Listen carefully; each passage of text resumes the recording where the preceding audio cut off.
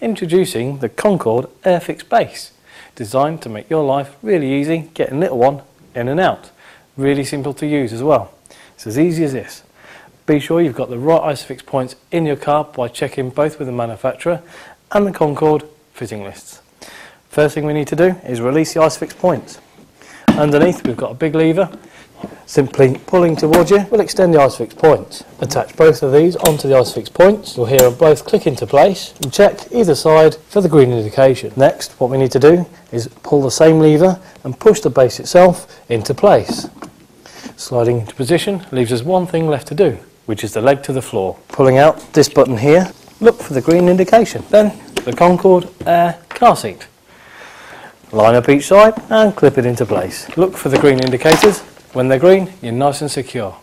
To release back off again, it's really easy to do. Press the buttons in, lift up, and away we come.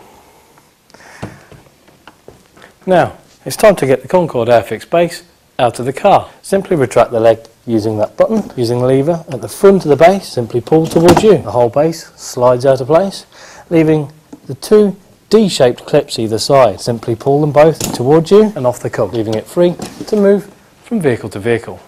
It's as easy as that.